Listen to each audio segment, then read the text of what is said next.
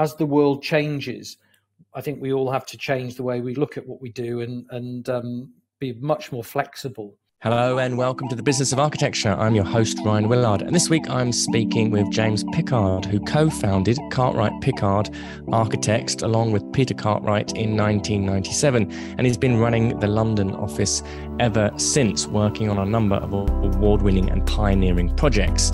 So, James has market leading skills in housing design with a particular strength in developing buildable, viable schemes for challenging and complex urban sites, and he has helped the practice to develop a reputation for innovation and the practical use of off-site construction methods with a particular focus on lean, low carbon solutions, air quality, and well-being. James was on the main board of Constructing Excellence from 2005 to 2007 and has been an assessor for several industry award schemes, including having been a jury member on the World Architecture Festival Awards for several years. He was made an honorary professor at the Glasgow School of Art for his contributions to the Mackintosh School of Architecture. He is also the founder of Tessellate.co, a disruptor platform in the recruitment space which seeks to solve many of the problems that architectural businesses face when recruiting and these problems include high recruiter fees, the enormous amount of wasted time spent on hiring, and ending up receiving a very poor match. The platform seeks to empower both candidate and employer and provides a fair and bias free process to candidate selection. So, in this episode, James discusses the problems that the architecture industry faces with hiring and recruitment, how Tessellate.co was born out of these frustrations and seeks to solve them, and advice for practices for staff attraction and retention. So, sit back, relax, and enjoy James Pickard. One of the most difficult parts about running your architecture practice is making sure you're getting the right fee for the job. We hear small architecture firm owners ask all the time, How do I know what my competitors are charging?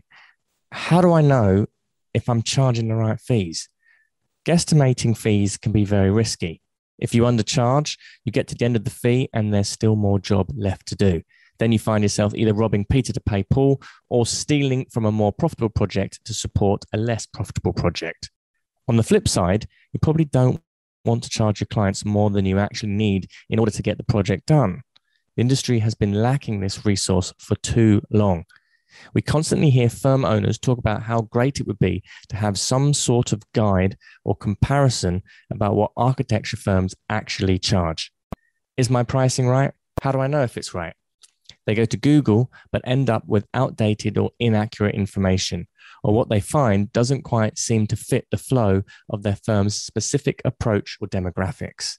So we've decided to fix this problem ourselves and create this long overdue resource for you. Ever since we founded Business of Architecture over 10 years ago, this has been one of the most common questions we get. So we are really excited about this.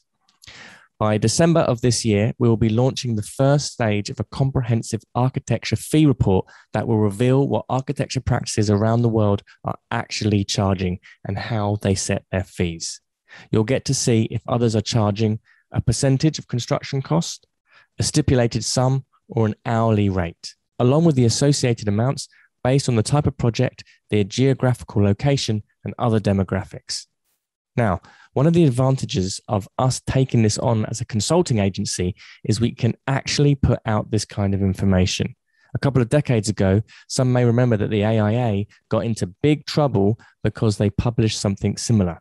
The United States Justice Department decided that this was considered price fixing, causing a monopoly, and they shut it down. But since Business of Architecture is not a membership organization and not representing architecture as a whole, we are not limited in discussing fees.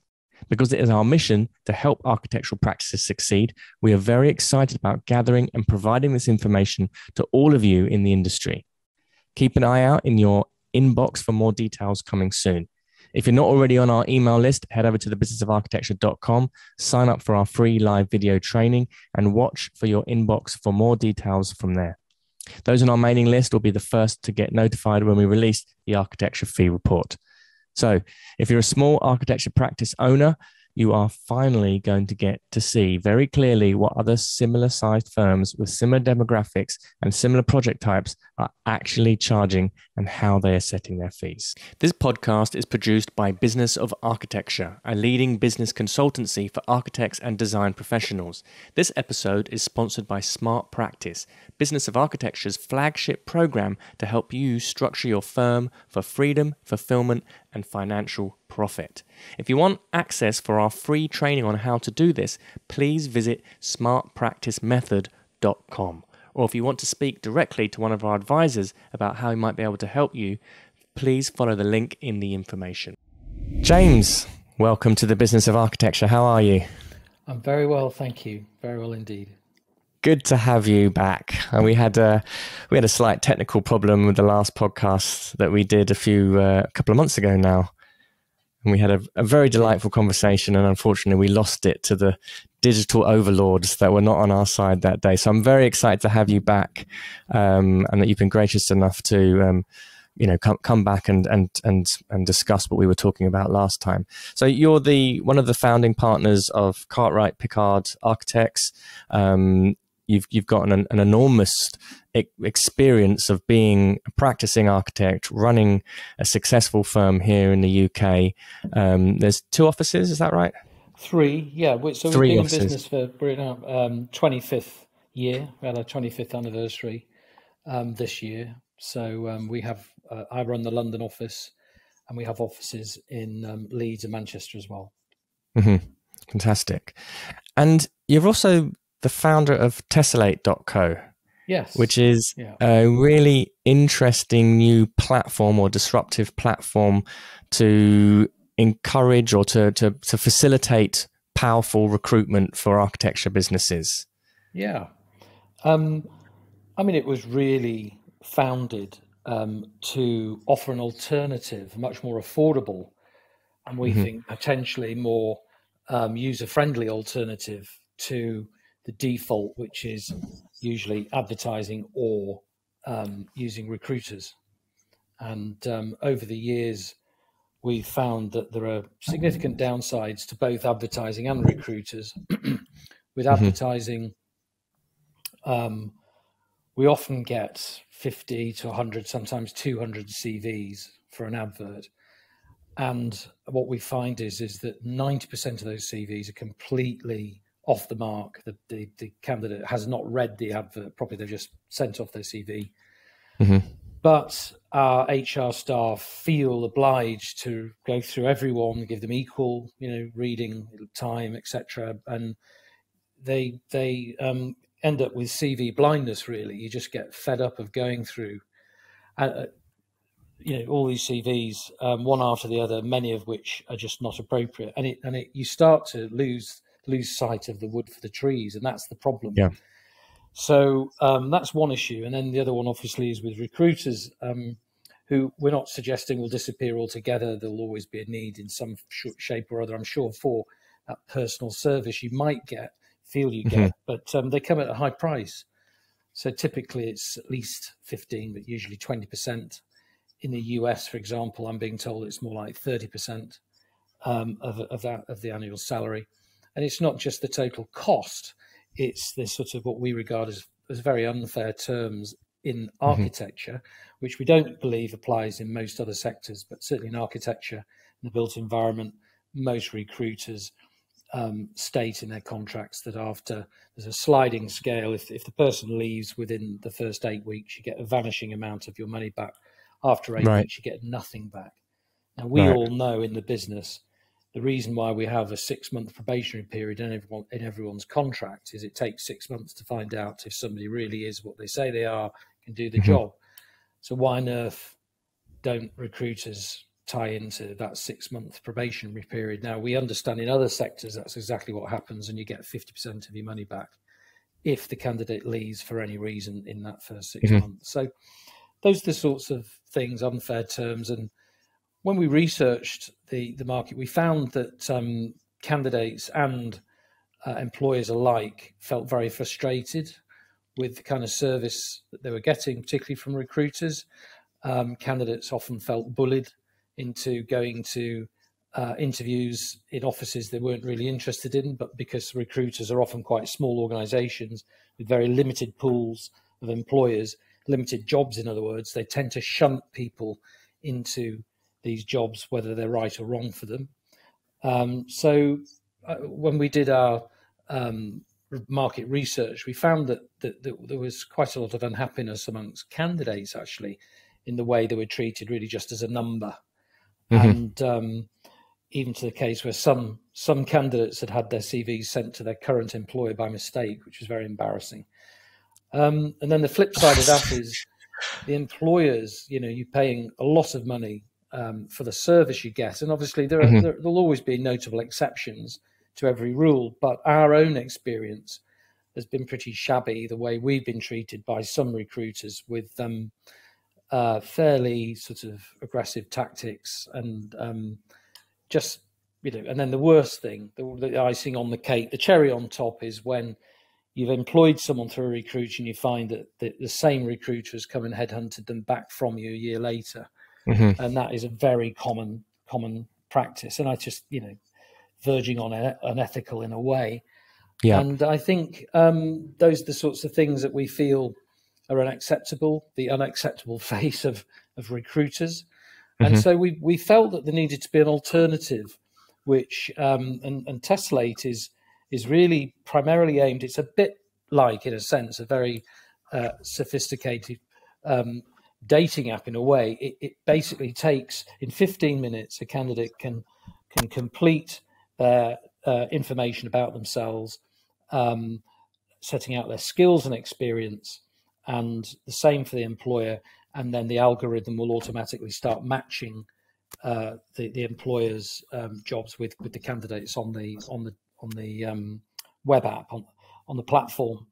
Um, and the, the early stages, the the, the the matching stage is is blind. So um, the employers never see the name at the start. They don't see the name, the age, the ethnicity, or the gender of the candidate. So we, what we like about that is it takes out any opportunity for um, unconscious bias, which we know is a mm-hmm. really big problem in recruitment. You know, white, pale, male, stale, middle class men tend to um, select people like themselves from similar mm-hmm. educational backgrounds, and you know, the architecture is dominated by white middle class men running architectural practices in senior positions, and unfortunately the level of diversity in architecture is is nowhere near what it should be. And mm-hmm. I do feel there's a sort of self perpetuating um, thing going on with, with with a lot of unconscious bias, which I believe happens all you know in, in all sorts sure. of different careers. But we thought also Tessellate's a great way at the early stages of completely getting rid of any opportunity for that. So once you are matched, um, it also the the the um, the platform puts all of the control into the hands of the candidate, so they're not pushed around. The candidate stays um, anonymous through all the early stages, and the candidate is notified that they've got some matches within employers or employers, and um, if those employers want to follow that up, the employer sends a message via the platform to that candidate. Oh, we'd like to get mm-hmm. to know more about you. Can we download your information? Can we and and the the control is with a candidate. The candidate can then see what the name of the practice, the size of the practice, where it is, the type of work it does, and and the candidate can retain complete anonymity and go, do you know what? Not I, that, they're too commercial. They're very big practice, so I don't really want to work in London, or I'd rather work here. And so they just swipe left or whatever. You know, just just mm-hmm. don't follow that one up and then when when a match pops up from a practice you are interested, you can go the other way and say, "Yeah, I would like to." And so press a button and you send your detailed CV and, and your portfolio, which again can still have your personal information redacted from it to an extent. So you're still retaining anonymity up to another level. And then if the employer thinks, yes, now this is looking really good, I'd like to get more, you then get an invitation to an interview, and then you can reveal a lot more about yourself. But you've got yourself to that interview stage, mm-hmm. um, and we just and feel then, that that's a uh, you know, good way of doing it. At, at, at, that point, when it goes into the interview stage, then that's the kind of top of the the business's hiring funnel, if you like, where yeah, then the exactly. candidate would go through whatever. Yeah. hoops and hurdles yeah. that the employer is is putting them through. Yeah, and I think you'd like to think that by the time you get to an interview stage, the employer's taking it pretty seriously, and yeah. um, all of those opportunities for unconscious bias that we know happen when people mm-hmm. not, you know, they don't notice they're doing it, but people, it's, it's, it's well known. People tend to select people from similar backgrounds to themselves without realizing yeah. it, and and we think that's a great way of helping to try and um, get a better um, ethnic and gender balance into into architecture and design generally. Um, do you, do, from from the architect's perspective, then from the employer's perspective, they're now being chosen, if you like. Um, and does this mean that there there's a kind of certain way that they need to make sure that they're communicating, or there are some sorts of tips that they can do to make sure that they're presenting their best self, if you like? Well, on what Tessellate.co has on the platform also is is what we call a grid, which is an information kind of point on on on the platform where you where um, employers mem- who are members of Tessellate, it costs costs the employers nothing to actually join, and it costs them nothing to put as many jobs on the platform as they like. They only pay an eight percent fee when a placement is actually made. So we're right, looking so at very, so very reasonable compared to the. a really low fee compared to recruiters, and also it's um, you get a free replacement candidate if the, the individual leaves for any reason within the first six months. So we're trying to be as as transparent as fair as possible, but employers have the opportunity on the grid we call it to put. Hmm.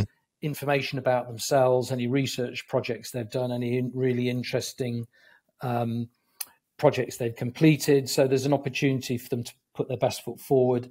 And obviously, candidates will always look at their websites once they realise, oh, that's the firm that I've got a match with. Yeah. Um, now, I, will be I'll be honest with you. We've we we launched just before lockdown and, mm-hmm. and COVID lockdown, and we obviously no one was recruiting. Lots of people being furloughed and made redundant. So there, there was no um, recruitment going on for quite a while. So we kind of uh, mothballed it essentially and and um, just in, invested in trying to improve the app from comments that we've been receiving, and we've fairly recently relaunched. Um, nothing's perfect, so there are still the odd glitch here and there. And if we get a user that says, "Oh, this isn't happening," we, you know, we've got our software developer who will investigate it, mm-hmm. and you know, slowly but surely, we're hoping to get the the um, the way the algorithm works and the platform works generally to just constantly improve based on feedback that we're getting. I think we've got so, around 150 candidates on the platform now, which is really, really quite exciting. Fantastic. First of all, is there anybody involved then once the candidate has put their information on is there anybody kind of manually looking at something and making sure that the fit's right or is it completely yeah we have an operation um, we have an operation um, marketing operations manager who mm-hmm. looks if you like at the back end of the way the platform's working and can actually see all the activity can see all the jobs that the employers are putting on can see all the candidates and we can see the, the, stages they've gone through. I mean, we can see actually there are hundreds of potential candidates who've got halfway through, but then for whatever reason just not finished, not completed. Mm-hmm. Um, we can see when a match is made, but a candidate chooses not to follow through.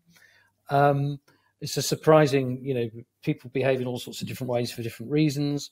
Um, so yes, we can monitor all of that, and if we have, um, uh, uh, you know, the opportunity on the platform for people to um, ask any questions. Both employers and candidates can, um, you know, email us or with a bot, just send us. You know, uh, there's a kind of opportunity for a chat box, if you like, with with with um, our staff, our team, so we can give feedback and advice. Um, that that is all possible. What we don't want to do is have a telephone answering line, if you like. We don't want to right. have a kind of go go to that point, but it doesn't mean that our operations um, manager can't speak to people, of course she could if we needed to, and they, that could be arranged. Mm. But initially, it's um, it's through the sort of chat chat line.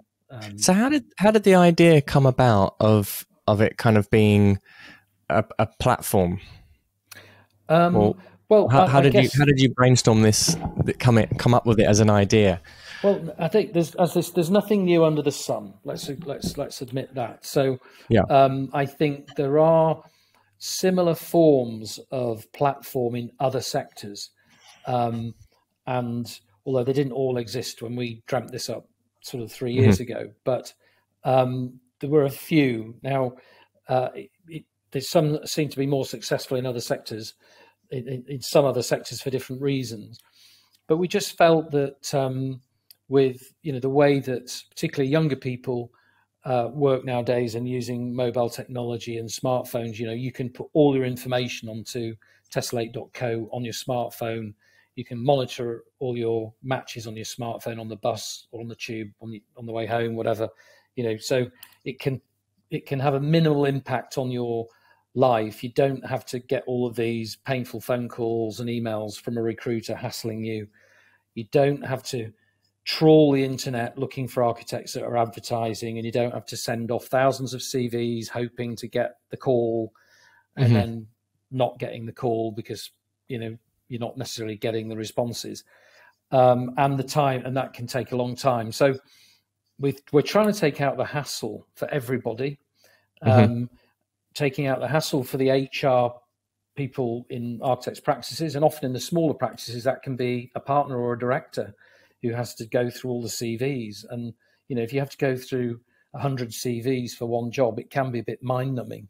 So to yeah. have it filtered by a smart, intelligent um, algorithm, which is doing the sort of initial filtering, matching the experience and skills. That's really what it's doing. So you're always being mm-hmm. judged on your experience and skills, not, you know, who you are, where you were educated, whether you're male or female or any other reason, you know, or your age, which mm-hmm. unfortunately we know, you know, does influence decision making. Yeah. Otherwise, so, so did the Tessellate.co did it begin life as an as an in house hiring platform for Cartwright Pickard, or, no, or was it always no, envisioned as a as a sort of a no, service did, for the industry as a whole? I mean, we don't you know we don't recruit that many people to warrant um, developing the software for this. So Right. It came out of um, our own personal experience, I guess, with with recruiters who we felt we were treated very shabbily by one particular firm who can remain nameless. And yeah, I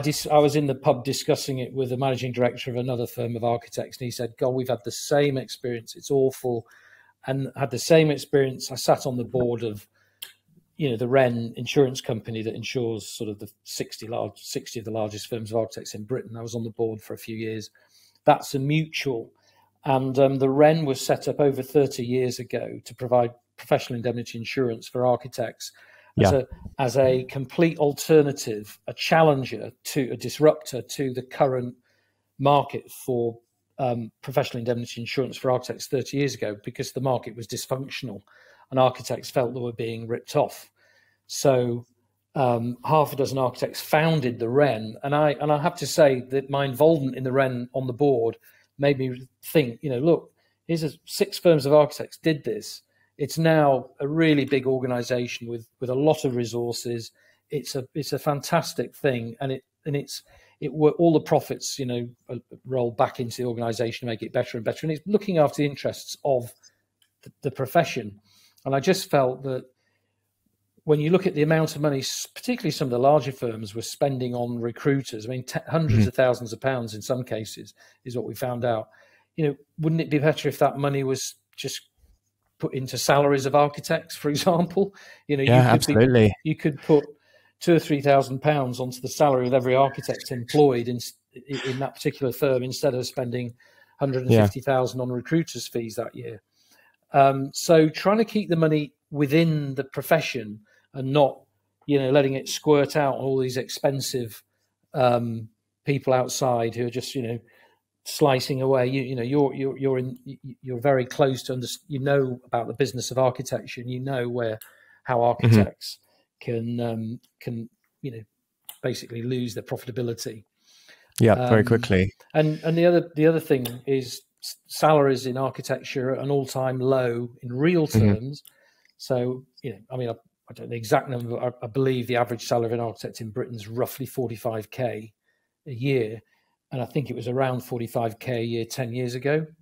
Mm-hmm. Um, so, you know, I think just the Architects Journal's own surveys show that if you applied inflation over that period, we're all about 25% worse off than we were 10 years ago, which is pretty shocking, really, given, you know, you, architects spend seven and a half years studying, some even more than that, you know, before they qualify as an architect.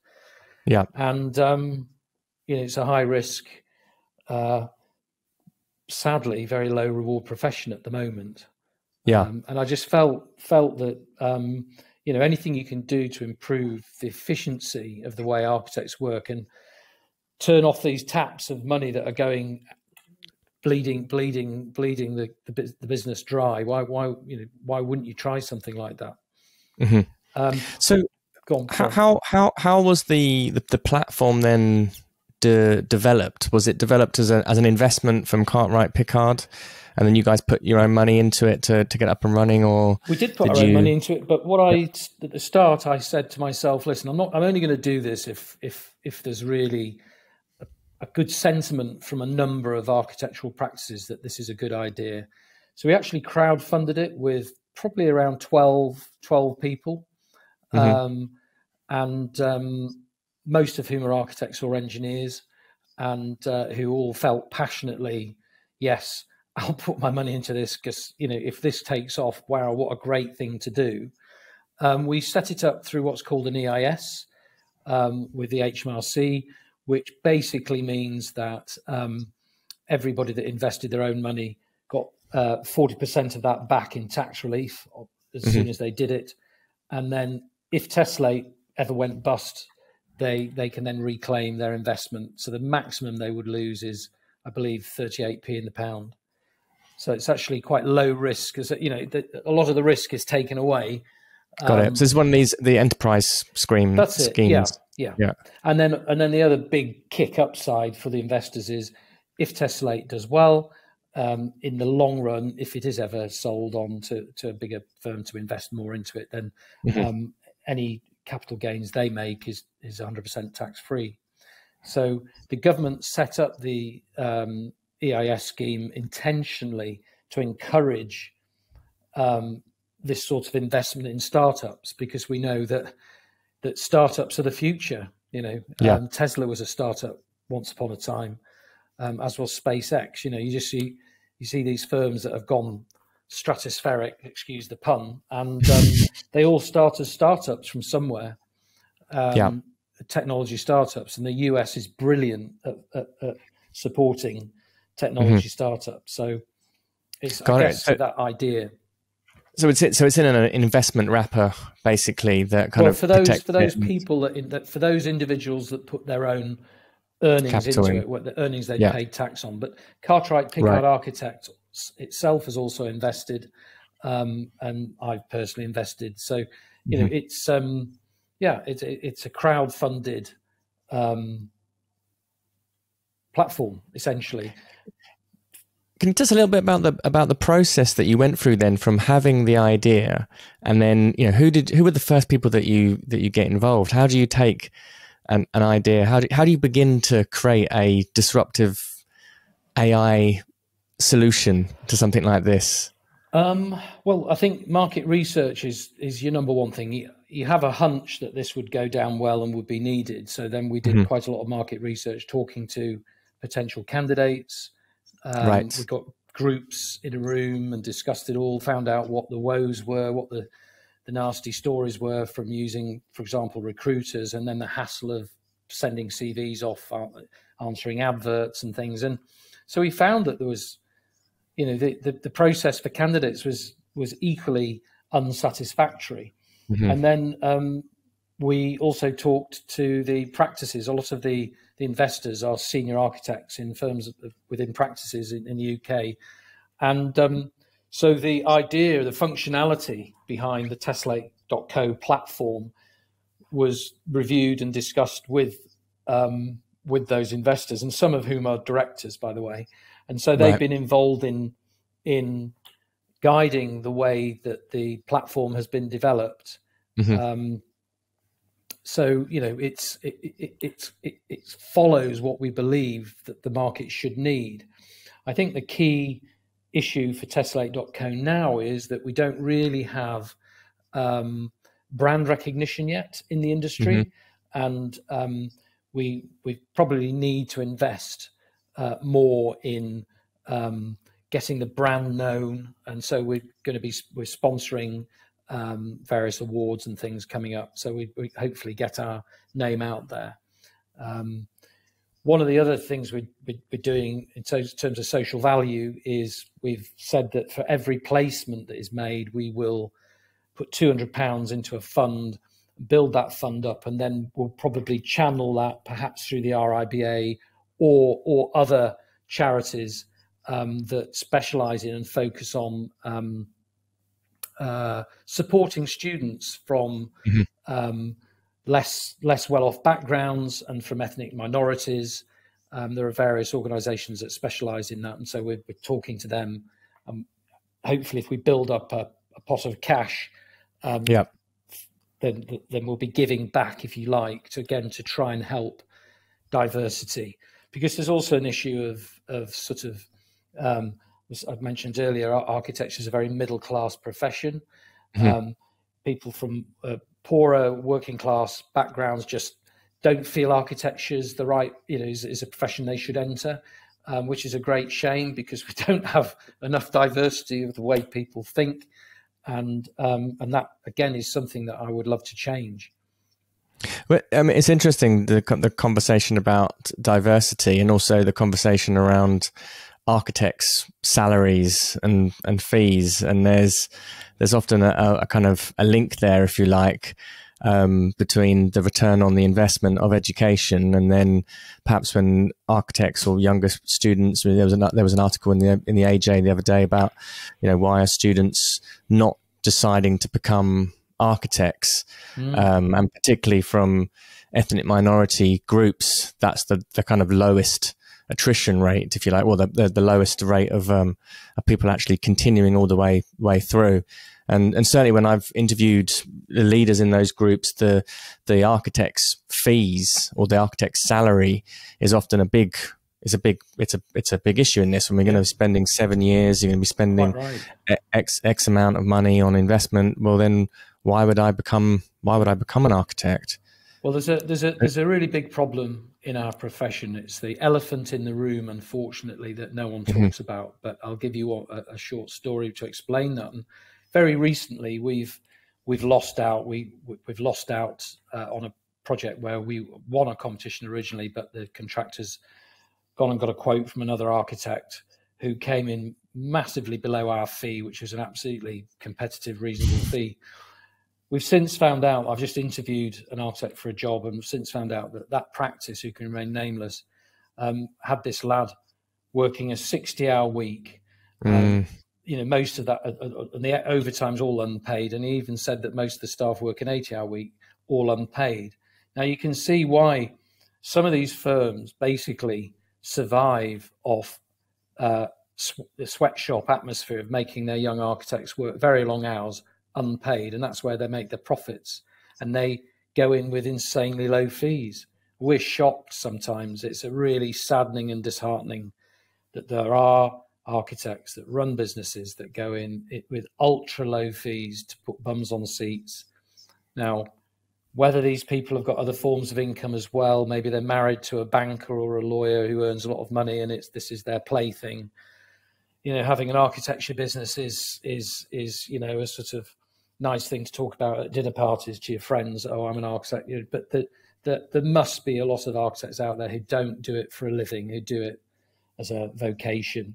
The sad mm-hmm. bit is, is that the people that pay the price are the young young architects and trainees, and who are being paid derisorily low salaries and or, mm-hmm. or paid a salary, but being expected to work very long, unpaid uh, chunks of overtime all the time, which is completely unacceptable.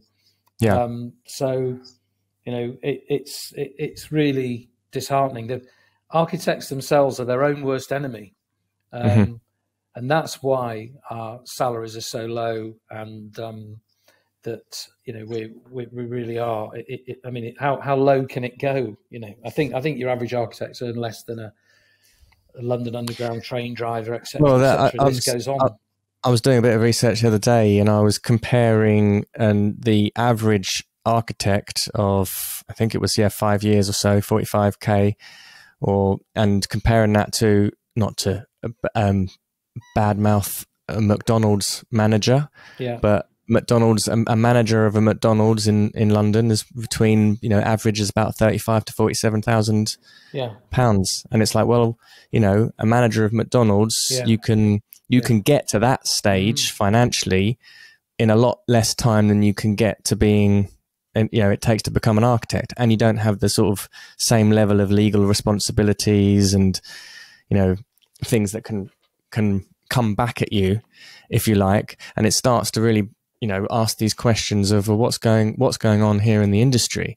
And yeah, and you're quite right. These stories of practices that are just lowballing lowballing mm. other practices um, and having exploitative employment regimes if you like in order to be able to keep the practice moving like that it's totally totally unacceptable. Totally totally it's unacceptable. very disheartening. It really is. Um, how how how and I'm quite interested in how Tessellate will be able to kind of will protect candidates from that kind of thing. I'm imagining obviously you have a high screening process for the for the practices if they want to be on the if they want to be well, part I think, of the platform. I think our starting point was try and cut out waste and try right. and, and save practices spending twenty percent of the salary when they recruit. And as I said, some of the larger firms mm. in London um, uh, and some of the partners of those firms or directors are, were part of the crowd original crowdfunding investors. We're spending between 100 and 200,000 a year on recruiters' fees. Now that that money could could all have gone to the employees, the staff, if um, if or most of it, a lot more of it could have done if they'd used other means. Yeah. Um, so, um, and you know, to be honest, you know, if you're a very large firm, you probably don't need quite as many HR staff either if you use Tessellate because if you if you advertise, as I say, you do get hundreds and hundreds of CVs, and you, so you need a lot of people reading those CVs. Well, if you're not getting hundreds of CVs and you let the the algorithm do your matching, then mm-hmm. um, you don't need all those people getting you know CV blindness, reading them, tr- trudging through yeah. them. You can have a leaner, a leaner HR um, activity, basically. What what so do you savings? I would say. Got it. What what would you hope to see Tessellate do to the industry in terms of like how many practices would you like to? Is there is there a kind of set of t- targets in terms of how many practices you want to be using the the platform or? I mean, we'd love to have as many practices as possible join as members, and, and as I say, putting putting they can put as many jobs on the platform free of charge as they wish. You only pay when mm-hmm. an, an, actual match is done, is made. Um, and not and, and, obviously firms are not always recruiting. But we one of the other the, the benefits of Tessellate.co is that we've got some key suppliers who are offering Tessellate members. So any architect, it's a sort of no-brainer really. If you join as a member, which is free of charge, um, we've got I think three or four firms of lawyers that have um, employment uh, specialize in employment law will give you um, 20% discount on their normal rates for things like, you know, employment contracts, advice, if you've got any uh, advice that you need for whatever, whether it's disciplinary or mm-hmm. let's say you need, you know, working from home contracts drawing up or Brexit issues, whatever it might be, you mm-hmm. can get a 20% discount from this, the, the, um, the lawyers that we've got on, uh, on the, the supply list. And then we've done the same with training companies. So Cole Cullender, for example, people who train architects, they're offering up to 20% discount on all of their courses. Oh, amazing. Um, and then we've got we've got a few other um, providers of um, sort of discounted activities and memberships of different things and um, mm-hmm. so so there are actually some worthwhile so benefits yeah, it's, it's, it's a very holistic set of services that Tessellate is actually kind of connected to or making accessible as well. It's not just um, in just the kind of recruitment aspect of it. There's the potential for training and yeah. I mean, ultimately, it could have its own. You know, it, it, you're creating a community that mm-hmm. this whole issue of salaries could could be addressed there. I mean, it would be lovely, wouldn't it, if if if, Tessellate is used by the employers that do the right thing, mm-hmm. and um, and, and, and don't run sweatshops. You know, we want yeah. we want we want to get entirely away from the sweatshop culture of old, and we all know we all know it exists still. Um, there are some very badly run firms of architects out there um, where the, the profit margin is is really just made off the mm. back of the overtime that, that young architects, unpaid overtime that architects are putting in, and that that needs to change. And an architecture, although it's you know it's an applied art, it's still architectural practices still have to be run as businesses, and if yeah. they're not run properly as businesses, then you know you shouldn't really shouldn't really be around because the, the practices that are not run as businesses are the ones that can't afford to pay the staff the right level of remuneration and expect the long mm-hmm. hours culture, um, which is which is obviously we all know has plagued the industry for for decades. Yeah.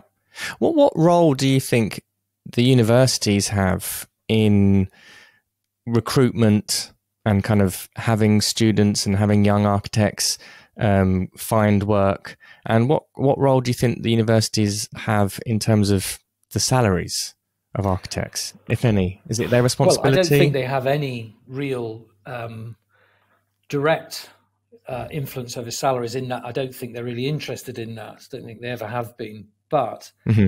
um, there is this perennial debate that, that, that, that the people that teach at universities, teach architecture, think architecture should be you know, it should be de- about design and architecture mm-hmm. in the purest sense, and the business side of it is when you get into practice. Now, yep. unfortunately, the reality is that that if we see lots of students come out who who don't know what BIM is, they don't know what mm-hmm. they don't know what um, you know they don't use Revit, for example, which is by far the most um, commonly used uh, or you know CAD software software tool that um, that, were, that, that is, is used for BIM.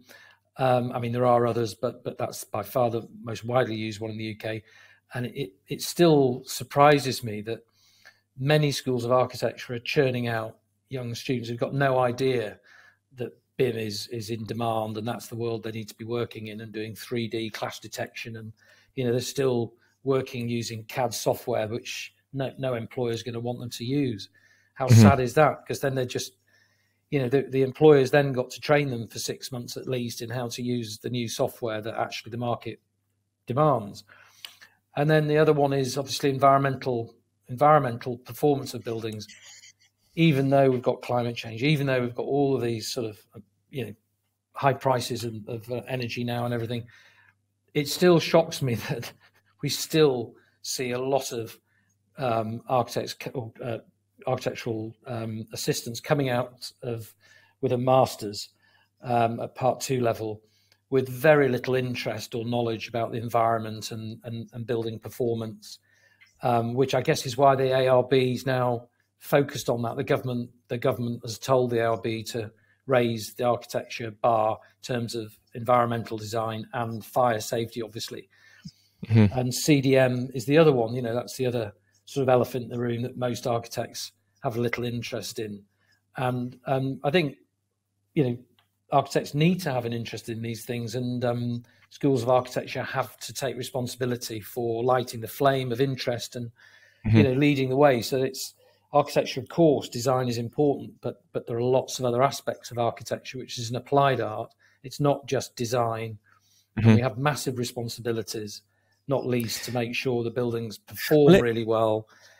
And you know that ultimate, the ultimate thing is, um, you know, construction and property accounts for forty percent of all global carbon emissions. So we've actually done the calculation. If you look at the the embodied the, the carbon in, uh, emissions of your average UK resident, the person in Britain is is about ten tons of CO two a year. Whereas if you divide the just the out carbon carbon emissions from the construction industry in the UK and divide that by the number of qualified architects, you come up with something like 1,300 tons per architect. So if you do the maths, you can easily see that an architect's a massive gift, a massive wow. opportunity to save hundreds, hundreds times more carbon than than a nurse or a GP mm-hmm. or a, a lawyer. You know, we're the people that control the largest single sector bigger than transport it's construction and properties, the largest, according to the UN, of any any sector, and we're right in the driving seat. And you've got to ask yourself, what are we doing about it? How many architects mm-hmm. are designing BREEAM outstanding buildings and net zero carbon housing? And the answer is very few still. Mm-hmm. And where's the leadership on that? You know, so well, that it, needs to be a massive it, part of education. Well, it's very interesting as well. You know, in the the universities have a response. Well, I mean, they might not see it like this. And I know when I talk to academics, they'll often challenge the notion of, well, is an architecture degree there to train and prepare someone for the profession? And many academics will say, no, it's not. It's not there. It's it's it's a, mm. and I, you know, a lot of business owners would would be like, well, hold on a minute then, and, and the question would be as well, well, what do students expect it's for? Yeah is it an intellectual pursuit that they're engaging in? Because I mm. don't necessarily think that. And certainly when we talk about diversity, um, and you know ethnic minorities and and people from different backgrounds, they are looking for a, a career and they're looking for a job and they're looking to get paid and they yeah. want to have they want to be trained in a way which is most valuable for the marketplace and it being a purely intellectual pursuit is not mm. that valuable in the marketplace of, of business.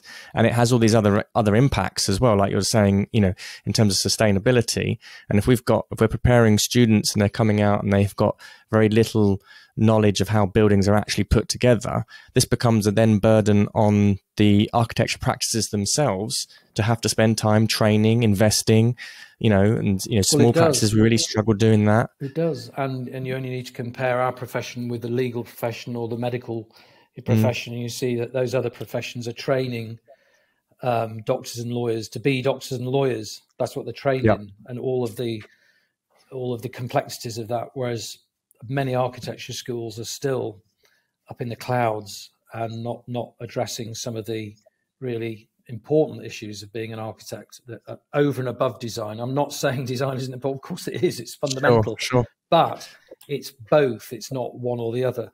And you can easily see. I mean, I've been a qualified architect for around 35 years, and in that time, um, I can say that you know architects' fees, typical fees for the same size job, have gone down from six percent down to you know two and a half percent, maybe two percent. That's that's how the fees have collapsed.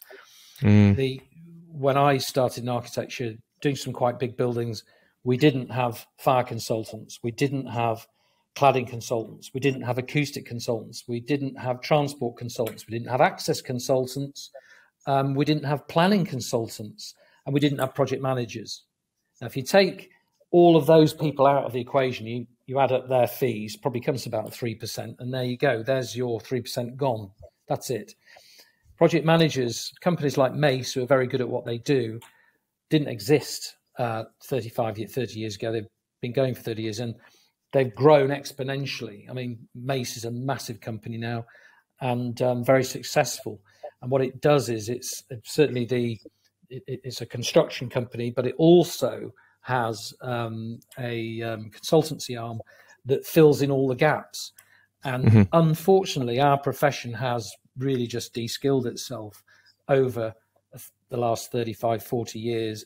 We've handed, we've just handed over all of these sort of slightly technical bits that are seen as scary because we're you know the profession's interested in you know design and and arguably the more fluffy bits that that you know and then clients clients really want to know that you know a job's going to be de- delivered on time on budget so they employ project managers to project manage the architect. And 30 years ago that wasn't necessary. you know it's interesting you look at something like the ARB's code of conduct and some of the things in there for an architect you know manage your own manage your business competently and to make sure that you're looking after the client's budget responsibly. Mm.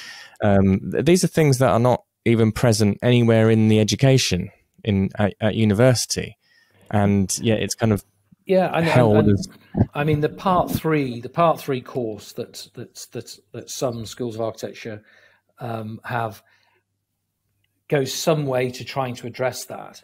Mm-hmm. But um, and and and you know they would argue that that, that, that some of those things are covered in, in the part three course. Um, but I think the fundamental issue is that that um, the entrepreneurial business side of of architecture is is really only just touched on, skirted over, and um, it shouldn't be. You know, we mm-hmm. we need there needs to be far more at a time allocated to the business of architecture. But I don't always think it needs to be about you know you, currently the the way the RIBA education is all and part three training it's all about oh you're going to have your own business you're going to set up on your own build a practice and do this that and the other. But I don't think that's the way it should be for everybody. I think far better to actually join a bigger firm often, um, wait your turn. Senior partners end up retiring. You know, you you you inherit the business, you take it on in one form or other, whether that's yeah. you know through an employee ownership trust or an LLP buyout, or you get given shares. You know, if, if you're good, then the um, existing owners will want to keep you, and um, you've there are lots of ways of of becoming an owner in an architecture business without having to set it up from scratch, which I did of course, but I know the pain, the pain mm-hmm. of the journey and the first 10 years are really, really tough. Well, it's, it's, again, it's very interesting. The, the, you know, the kind of impetus on design at university, I'd, I'd make a correlation that because it's that's a very creative thing and then it provides a lot more independence and then people perhaps falsely think that setting up your own practice is going to be the ticket to being able to realize all of those creative ideas or the individualistic mm. ideas that were being fostered and nurtured at, at, at, university through the kind of culture of very much design focus. And I think that's that, that has uh, problems to it because then we get lots of young practices um, that will, you know, it's it's hard. It's mm. really really difficult. It's really really difficult. And I think that working in larger practices isn't um, you know it, it, it's not what it's it it should be or could be if you like and i think there's a lot more possibilities being in a larger practice and being entrepreneurial if you like and you know how can you can contribute to a large practice through understanding business and finance and all these other competencies. And actually, there's a whole world of creativity that opens up. And actually, we get much better businesses as a result and much more ability to impact the built environment. Mm. Um, I, I, think that's quite interesting. I, I would, you see, I think architects undersell themselves and under because there's a lack of entrepreneurial interest. Mm-hmm. Um, there's so much architects could do in addition to the built environment and also to you know earn earn more earn more rather than being you know settling for, with the with the derisory pay that many many are ending up on. Um, for mm-hmm. example, product design. There's all product design is a, is a really high value area. Architects are constantly designing things like light fittings, doors, windows. You know, I would encourage architects to get into bed with manufacturers. We did mm-hmm. that with a timber frame manufacturer developed a housing product um, just before the financial crash um, called Optima Homes, and Kingspan bought the whole thing, lock, stock, and barrel, and the IP wow. from us. Um, and I think got orders worth 75 million in the first year of launching that product um, from companies like IKEA, for example. So if you if you use your creative talent and your mm. knowledge of construction and materials then there are so many areas that that can be applied to generate revenue and opportunities. Um, and then, you know, my my business, we we we took some of the some of the benefit from from having sold the intellectual property in a new housing product, and we set up a property company, and we've done our own property development. Um, so you know, there's all sorts of different things, and we designed the building that we occupy now and own it. You know, there's things that you can do um, outside the strict narrow confines of of thinking that this is what a professional architect does. Um, yeah. As as the world changes, I think we all have to change the way we look at what we do and and um, be much more flexible.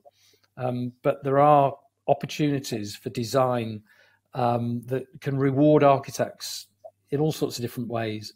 Um, I'll give you a good example. I'm we're doing research at the moment into um, into uh, the next typology of housing for later living. Got some government grant funding for it and some industry backing, and we're looking at the 12 most innovative projects all over the world that have developed, uh, built really exciting homes for later living.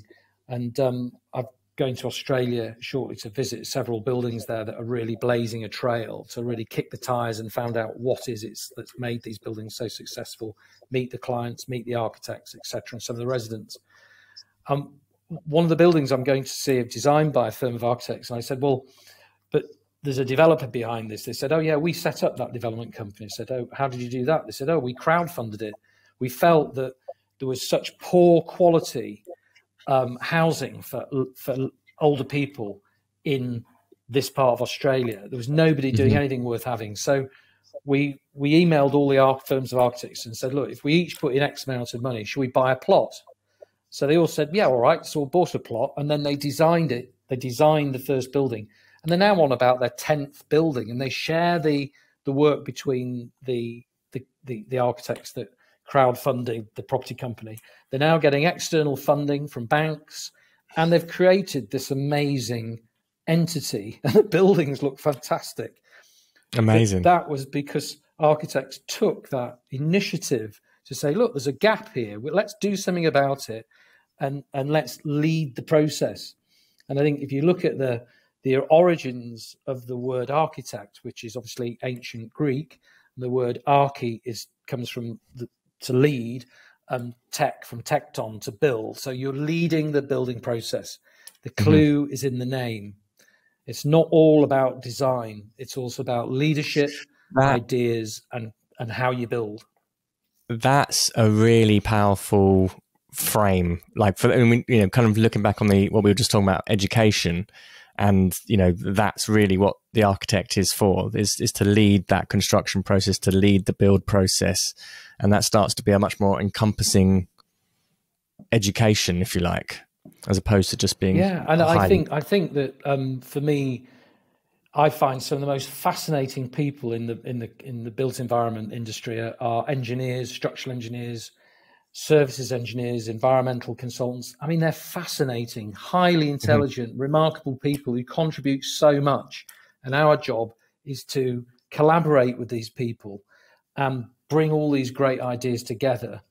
And um, and we have got to upskill. You know, architects need to be technically savvy, so we can lead. And and mm. um, that's the sort of, I think, the change that needs to happen if architects want to be well paid again. Um, that plus, you know, eradicating these employers who expect large amounts of unpaid overtime and pay derisory low salaries. We've got to somehow you know, get these these employers out of the industry one way or another, mm-hmm. um, and and get architects to, to be on on you know salaries that commensurate with the level of training and responsibility they have. What what do you think is the role of say a, a practice like Cartwright Pickard in in empowering architects to take that position again? Do they have do, do you see that the industry, the businesses have an influence on universities, or there is something that in terms of the upskilling side of things, the yeah. upskilling bit. I mean, yeah, I've done a bit of teaching myself, um, and I was involved um, with a um, the part three side of things um, in the mm-hmm. past. Mm-hmm. I've I've been a visiting professor at the, the Mackintosh School of Architecture for a few years, um, and you know, you you do your best, but even you know, I have you do you do come across the seasoned um, academics and sometimes the sort of self-interested tutors in some of these schools of architecture who just just want to freeze you out. They don't want to be challenged, and um, you know the the politics that go on in universities and higher education can be quite frightening. Yes. Sure if you if you um, know anybody that that teaches I, in a university, you'll, they'll be able to tell you.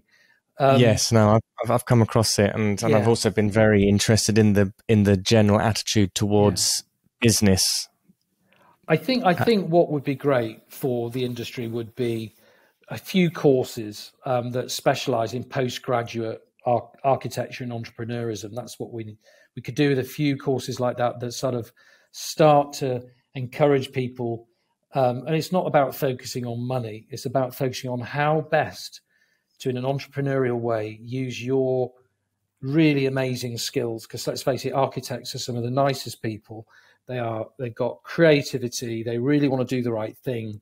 They got really high ethics and you know are, are there in their heart of hearts they'd love to change the world but how mm-hmm. do you do that and i think that you know we need to help the, the young talent of tomorrow to um, reach the zenith don't we how how are we going to get all these bright um, talented designers to um, somehow discover the entrepreneur in themselves and the route and support them.